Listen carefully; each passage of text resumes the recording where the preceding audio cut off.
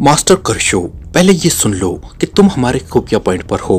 तुम्हें तुम्हारी रिहाइशगाह से बेहोश करके यहाँ लाया गया है और तुम्हारी रिहाइशगाह में मौजूद तमाम मुलाजमीन, मर्दों और औरतों को हलाक कर दिया गया है।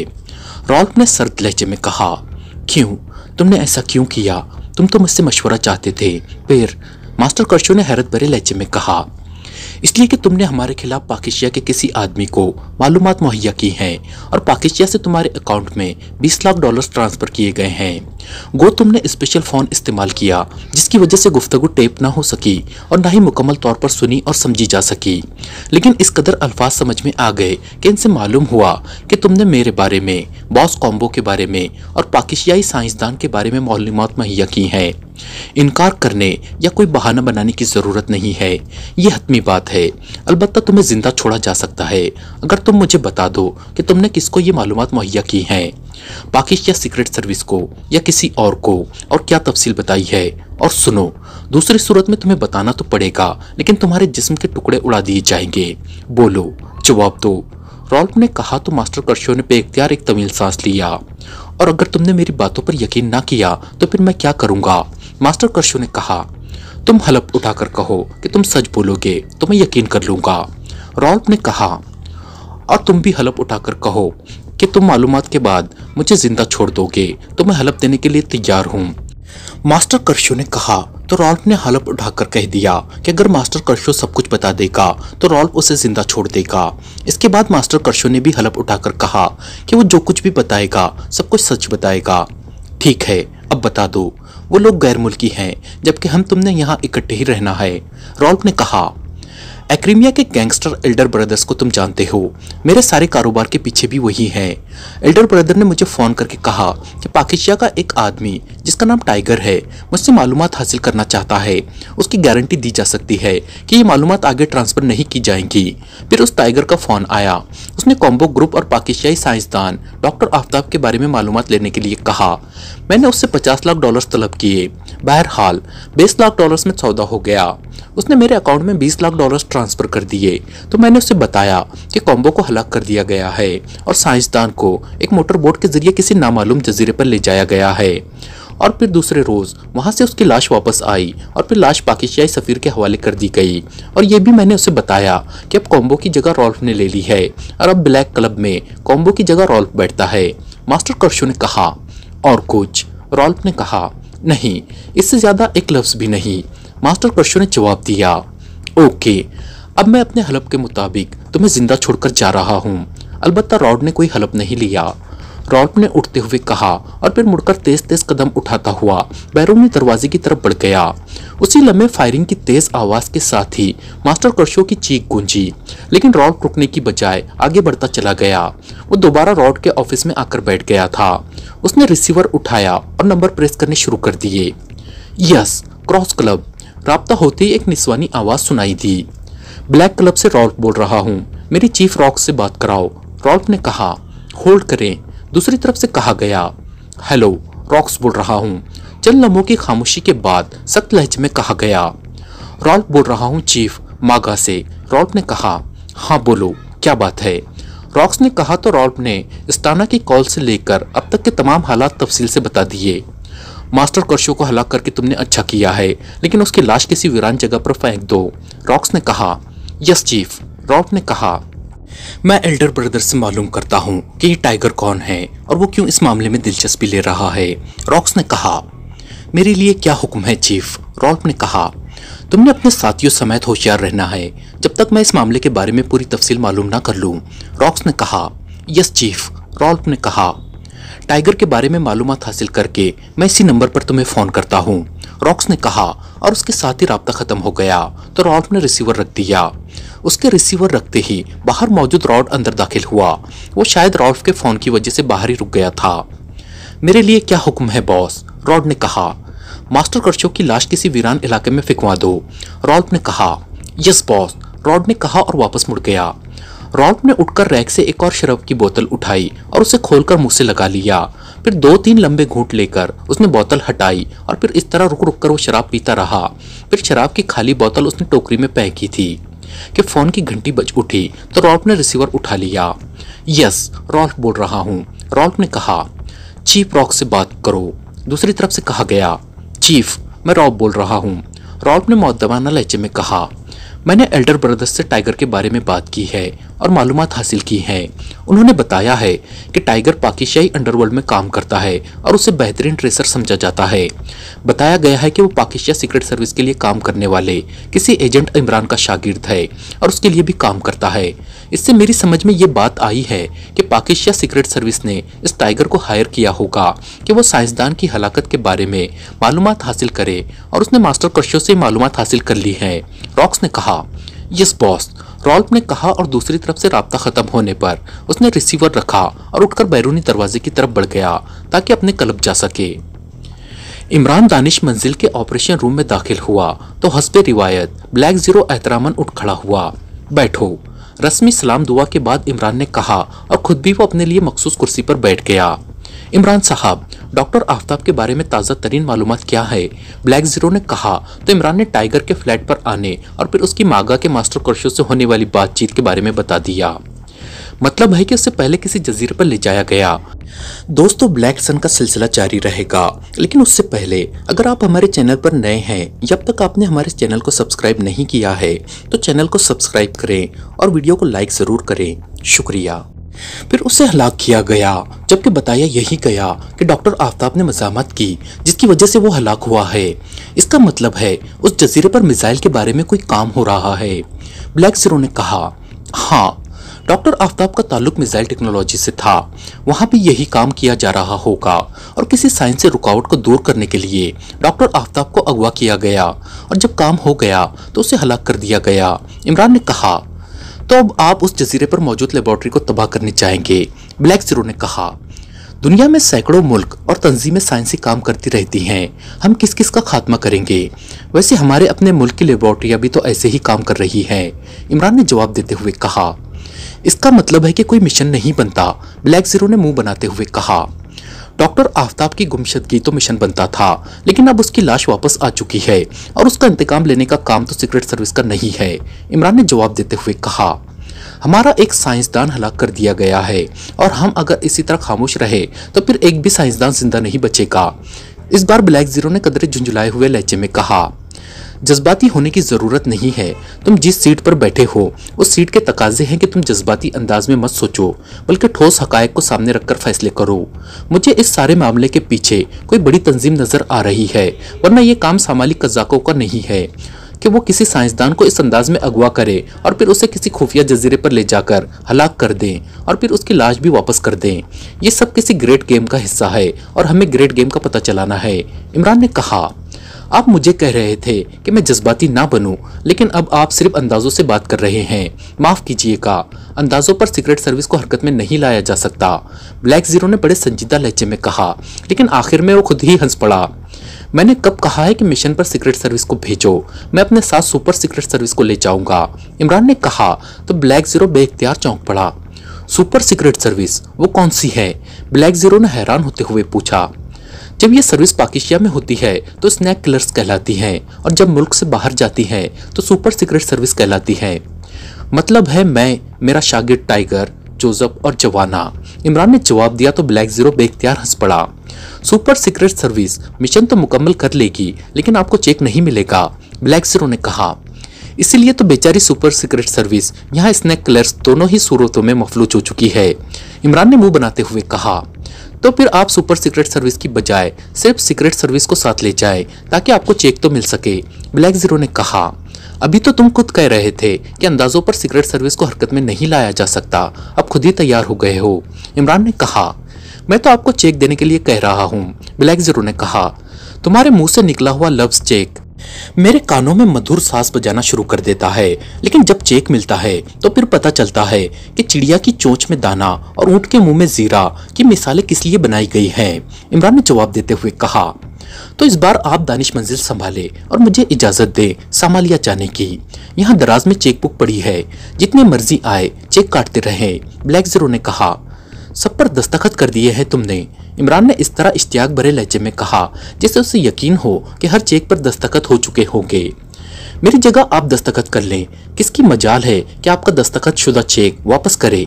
ब्लैक ज़ीरो ने कहा, लेकिन इससे पहले कि इमरान कोई जवाब देता, फ़ोन की घंटी बज उठी तो इमरान ने रिसीवर उठा लिया। एक्स टू इमरान ने मखसूस लहजे में कहा, सुल्तान बोल रहा हूँ, इमरान है यहाँ। दूसरी तरफ़ से सर सुल्तान की आवाज़ सुनाई दी।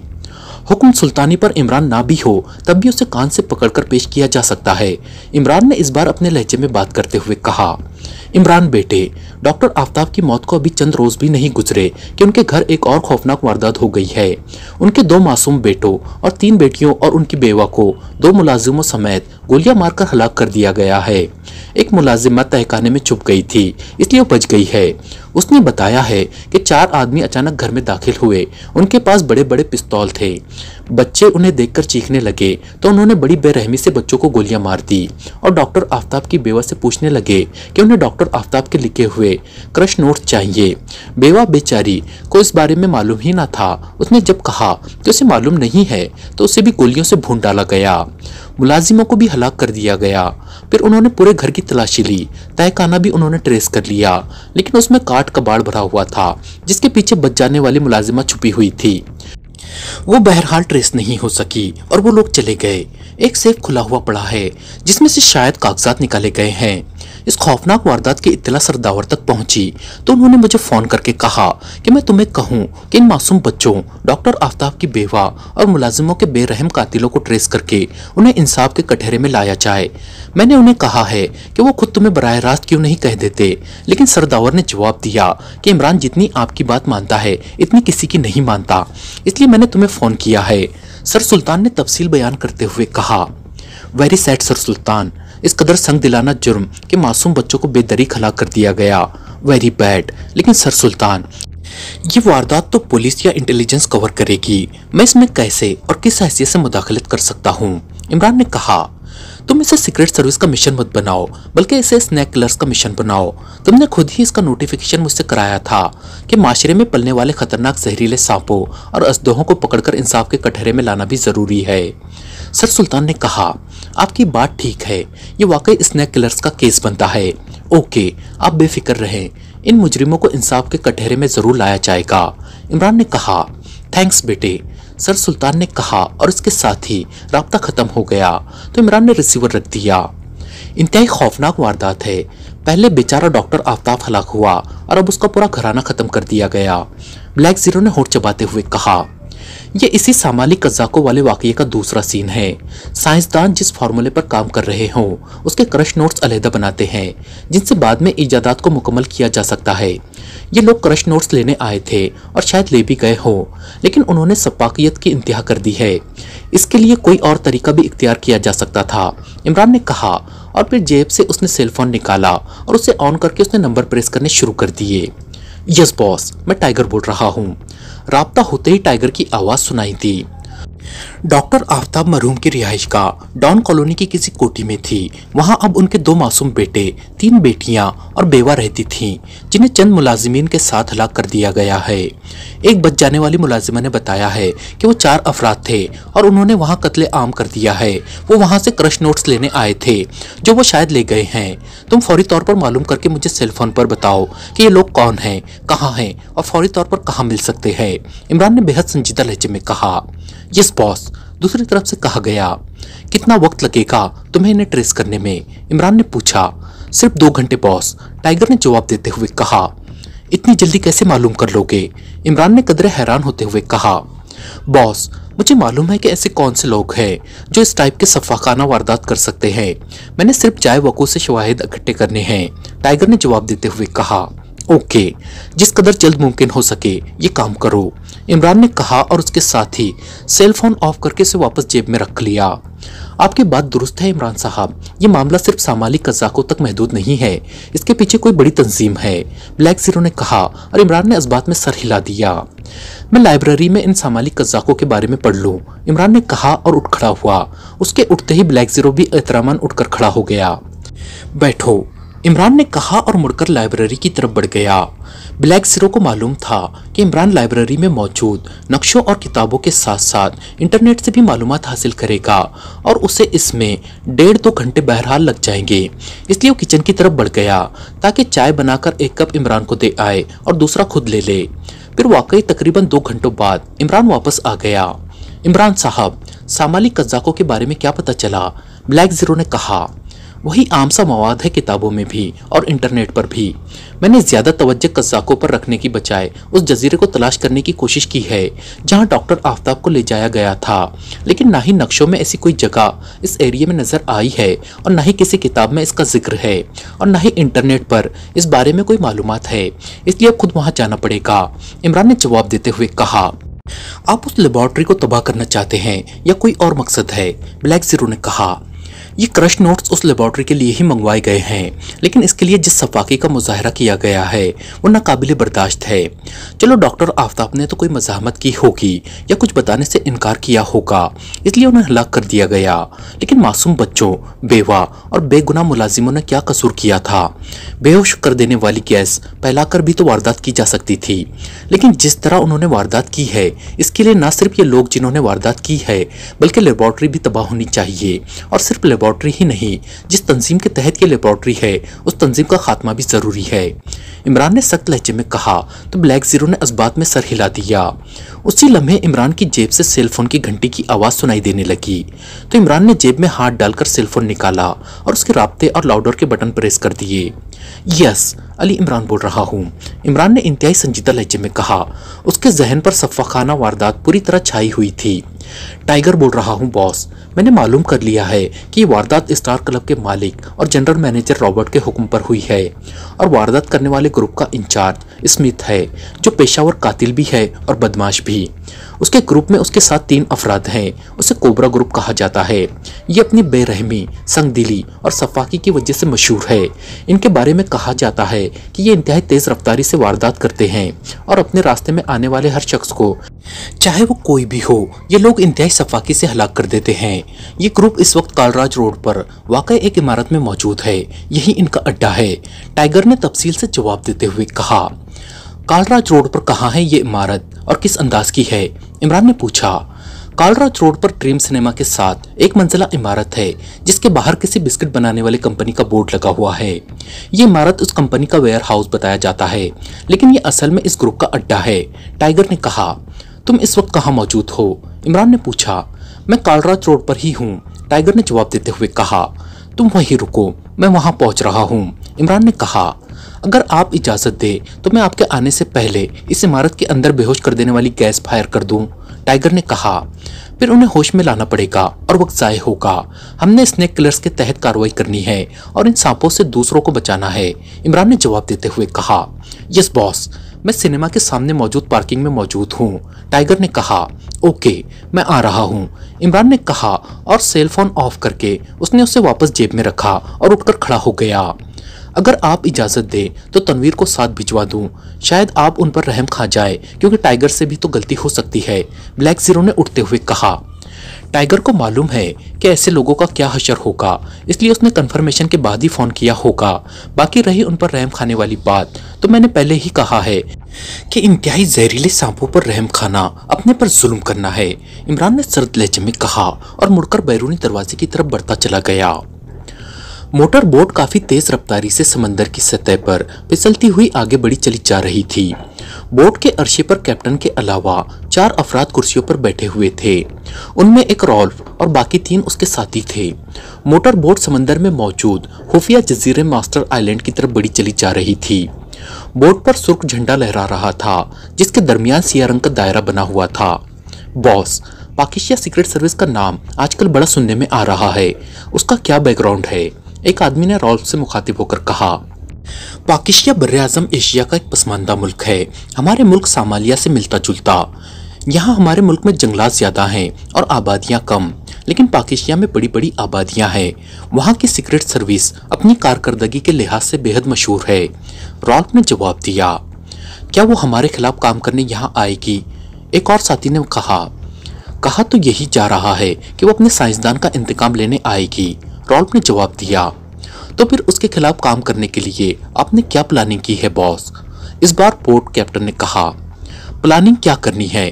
पाकिस्तान में एक ग्रुप है, जिसका इंचार्ज रॉबर्ट है, जो वहाँ एक क्लब का मालिक और जनरल मैनेजर है। वो चीफ बॉस रॉक्स का दोस्त है और पाकिस्तान में बेहद बाअसर भी है और उसके पास ऐसे ग्रुप्स भी हैं। जो इंतहाई तेज रफ्तारी से काम करते हैं। ये क्रश नोट्स जो हम डॉक्टर स्टोम को देने जा रहे हैं, उस ग्रुप ने सिर्फ़ चंद घंटों में वहाँ से हासिल करके हमारे पास भिजवाए हैं। उस ग्रुप को चीफ बॉस रॉक्स ने पाकिस्तान सीक्रेट सर्विस के खिलाफ हायर किया हुआ है। पाकिस्तान सीक्रेट सर्विस वैसे तो खुफिया रहती है, लेकिन उसकी सरबराही करने वाला इमरान नामी आदमी सबके सामने रहता है और इंतहाई खतरनाक समझा जाता है।